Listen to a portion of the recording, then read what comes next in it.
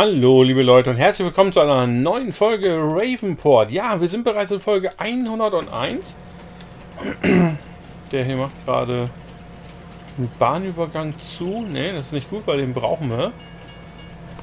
Deswegen werden wir den Zug jetzt hier nochmal ein Meterchen fahren lassen.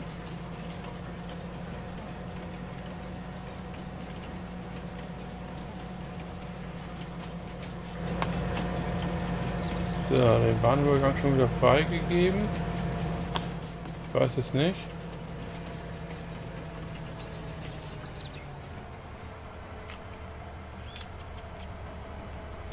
Aber das werden wir merken. So, okay, hier steht... Genau, richtig. Unser Striegel. Der sollte hier oder müsste hier noch eine Runde den Rest Unkraut wegmachen. So. Los geht's. Das gilt auch für diesen freundlichen Kollegen hier. Okay. Der steht hier schon mit der frischen neuen Sämaschine. Jetzt auch noch nicht ganz so relevant, sondern später, die Erntemaschine steht da, der Zug steht da. Er muss nicht mehr viel striegeln. Wir gucken einmal, was mit den Tieren dementsprechend ist. Wir hatten ja ein Stück gespult. Hat aber nicht sonderlich viel verschoben hier. Eins, was langsam mehr wird, ist halt Mist und Gülle. Da kann man natürlich dann irgendwann mal überlegen, ob wir damit nicht äh, düngen, zum Beispiel. Ne? Wäre noch eine Alternative. So, haben wir noch irgendwas an Bord? Wir haben noch minimal Getreide da. Aber das sieht hier eigentlich auch noch ziemlich voll aus. Okay, nö, das ist alles gar kein Ding. Nächsten Tiere kommen in fünf Stunden. Das ist auch kein Ding. Weil sobald die mehr Tiere kommen, desto äh, ne, mehr rückt das Ganze ja auch auf. So. Wir gucken. Ja, Unkrautbekämpfung. Warum da jetzt hier wieder... Er hat hier immer so Ansatzschwierigkeiten, so wie es aussieht. Da müssen wir dann echt mal eine Runde gucken, ob wir das irgendwie hinkriegen. Hier hat er die Sachen sauber weggemacht. Nur unsere Spritze, die ist nicht ganz so effektiv. Die macht Kanten. jetzt kommt wahrscheinlich das größte Problem. Ja, da sehen wir es nämlich. Wir werden gleich selber eine Runde fahren und zwar eine Überlappung fahren, weil wir können ihn natürlich jetzt nicht komplett wenden lassen, weil er bleibt natürlich an den Silos und sowas da hängen. Und das hilft uns natürlich kein Stück. Warum wurde auf einmal langsamer? Ich habe nichts gemacht. ja, gut. Dann würde ich sagen, das erledigen wir dann gleich auch mal.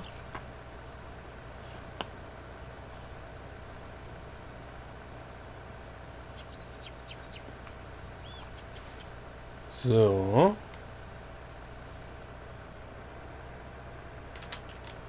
Kann es aufhören, Dankeschön. ja, Entschuldigung fürs Räuspern. Kommt leider mal vor.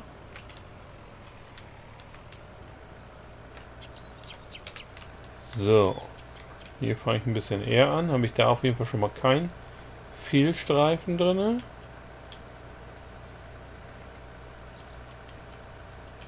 Aufpassen. Ja, ging dann vorbei. Hier kann ich ein bisschen mehr überlappen, dass ich auf jeden Fall die Kanten das alles auch mit weg habe.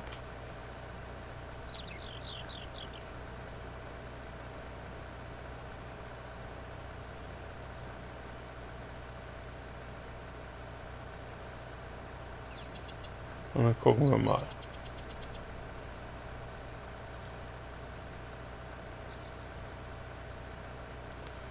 Werde das einfach jetzt mal gerade eine Runde durchfahren.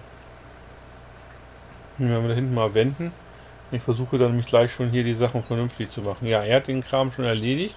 Das müsste unser Striegel dann sein, der dann schon sagt, ich bin fertig. Das ist schon mal super.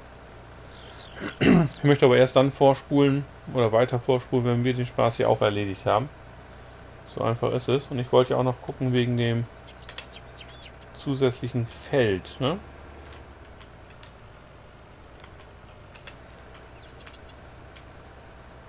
So. Ja, das müssen wir jetzt auch bis zu Ende durchfahren hier.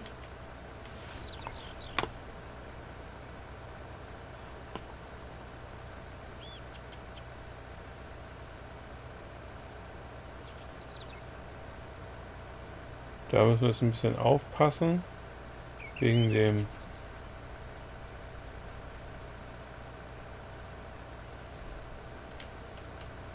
Wagen da. So. ja, Entschuldigung nochmal fürs Räuspern, aber irgendwie habe ich mir einen Frosch im Hals heute.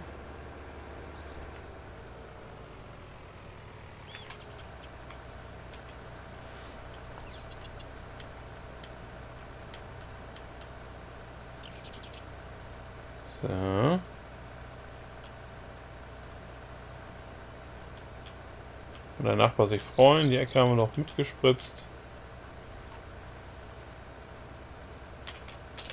So. Ja, da hat er wieder mal was nicht ganz richtig gemacht. Das schaut natürlich aus. Und hier muss ich jetzt auch noch mal ein bisschen nacharbeiten. Das kriegen wir aber hin.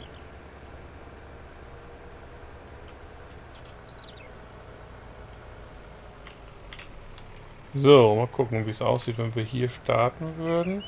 Ich weiß jetzt nicht genau, wo die Kante jetzt war. Deswegen gucke ich nochmal auf der Karte. Ich glaube, das erste hier wäre hier. wenn ich das beim zweiten jetzt hier so ein bisschen rüberfahre, hier so, dann müsste ich sie hier gleich irgendwann auch mit drin haben, die Kante.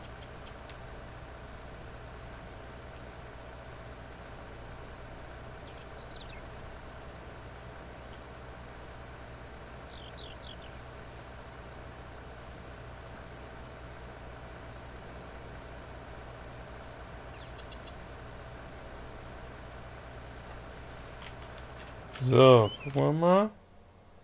Ah, hier haben wir. Na, hat er hier beim Wenden ein bisschen zu äh, früh aufgehört. So wie es aussieht.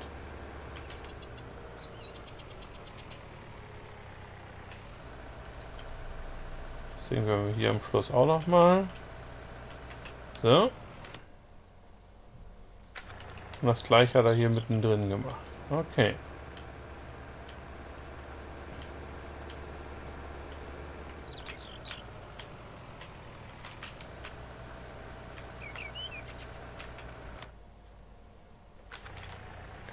Millimeter nicht, ne? Ist klar.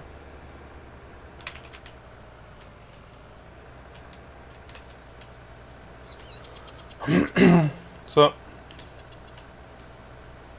Mit der Drehung habe ich es jetzt auf jeden Fall weg. Richtig, wunderbar. Dann können wir den ganzen Spaß zusammenfalten. Wir werden das mal kurz unten das Striegel noch korrigieren. Und dann kann es schon weitergehen.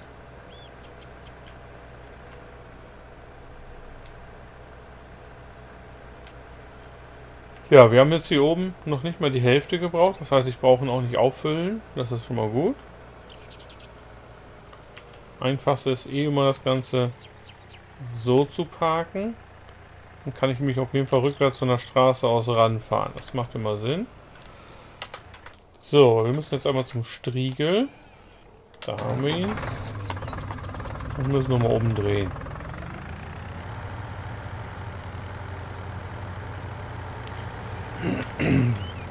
So.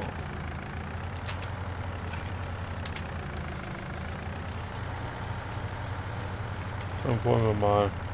War das hier vorne noch ein Unkraut? Ja. Das hat er wohl nicht als Unkraut gezählt. So, ein kleines bisschen da überlappen. Die Kante hier auch gut mitnehmen, das sieht schon mal gut aus.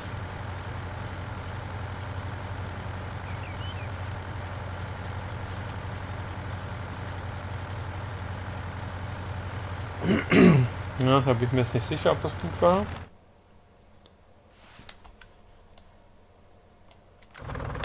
Ja, sagt doch, hier wäre noch irgendwo ein kleiner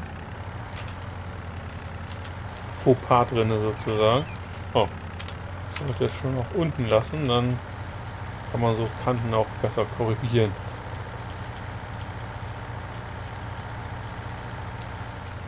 So. Ja, jetzt sieht das gut aus, würde ich sagen. Dann können wir auch das gute Stück hier zusammenfalten.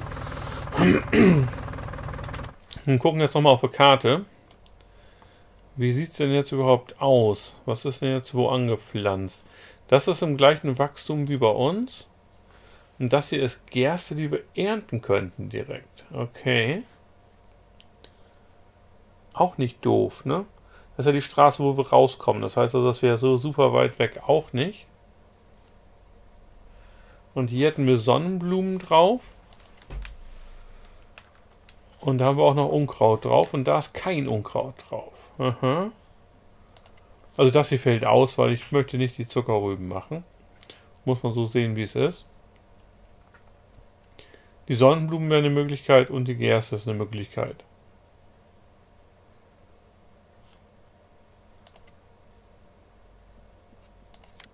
Gedüngt davon ist nichts.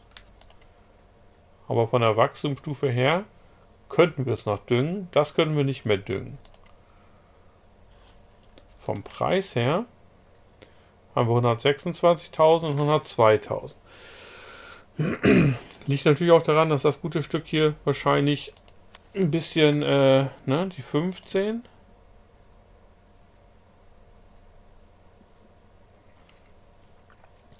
1,31 Hektar. Und das andere ist die 14, da haben wir wahrscheinlich gar keinen Auftrag für gerade, oder? Bisschen runter. Doch, die 14 haben wir da. Ist 0,78 Hektar. Und die 16 ist 1,46 Hektar. Also preislich ist das locker gerechtfertigt. Ne, das sind 0,78 Hektar zu... Na, warte ich ihn? Zu 1, das ist also ne, eine ganze Ecke mehr. Deswegen ist der Preis auf jeden Fall auch gerechtfertigt.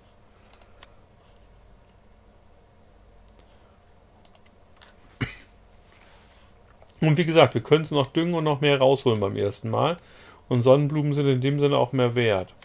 Das heißt, ich werde jetzt einfach hingehen und werde die 15 kaufen. Bam, schon ist es passiert. So schnell geht's. Heißt jetzt, Kartenübersicht aus. Es ist im Wachstum und ich muss Unkraut bekämpfen. So, ihn lasse ich da eine Runde stehen. Und hier mache ich mal meine freundliche Giftspritzaktion an. Weil hier kommen wir mal hochgefahren und das hier ist unser neues Feld.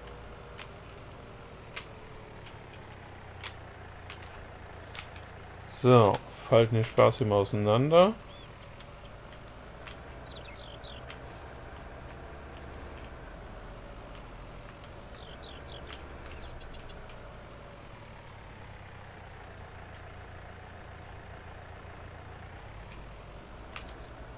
Ich werde jetzt erstmal von der Ecke hier ausgehen und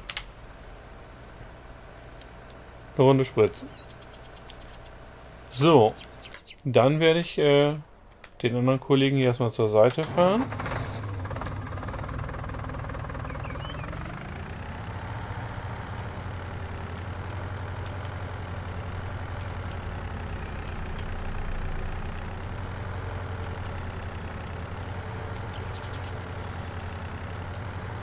So. Ja, jetzt haben wir zwar nur noch 29.000 auf dem Konto, aber wie gesagt, das wird sich schon mal alleine dadurch steigern lassen, oder sehr gut steigern lassen, dass wir ja schon ähm, gleich eine Ernte Sonnenblumen reinholen können. Unkraut befreit und äh, wohl auch gedüngt. So. Wow. Ich weiß jetzt nicht, warum er komplett wieder zurückgefahren ist. Kann ich null nachvollziehen, was das soll. Das, da bin ich jetzt gespannt, was er am Ende hier macht.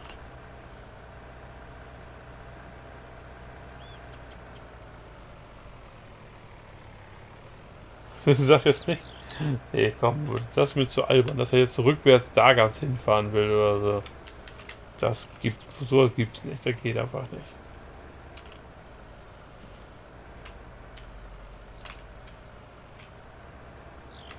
So, das ist jetzt zwar ein Stück Überlappung, aber du fährst erstmal wieder. Den freundlichen Kollegen hier lassen wir die Seemaschine Seemaschine sein lassen. Und mit dem gönnen wir uns nämlich schon mal den Streudünger, den ich jetzt nicht mal genau weiß, wo ich ihn hingestellt habe, aber wir schauen mal. Und dann werden wir das Feld da hinten auch noch eine Runde düngen. Und da müssen wir mal ein Stück vorspulen, weil ich glaube, wir können in der nächsten Wachstumsphase dann sogar auch noch das zweite Mal düngen und haben tatsächlich ein vollwertiges Feld. Das ist schon mal nicht schlecht. Die 16 werden wir irgendwann dazwischen auch mal kaufen, wenn nicht kein mit Zuckerrüben da drauf sind. Weil die Zuckerrüben sind echt äh, ja, nicht notwendig momentan für uns und wir hätten das Equipment selber auch nicht, um es zu machen. Das ist immer so der Punkt. Ne? So, ja, aber wir schauen mal kurz. Er macht es richtig soweit. Aber wir sind leider schon am Ende der Folge, würde ich nämlich sagen. So sieht's aus. Ich hoffe, dass es euch gefallen hat. Würde mich sehr freuen, wenn ihr beim nächsten Mal wieder mit dabei sein würdet. Wenn es euch gefallen hat, lasst einen passenden Daumen da. Ich würde mich auch sehr über ein Teilen freuen und ein Abo wäre natürlich klasse. Sage ich vielen, vielen Dank für die Unterstützung und bis zum nächsten Mal.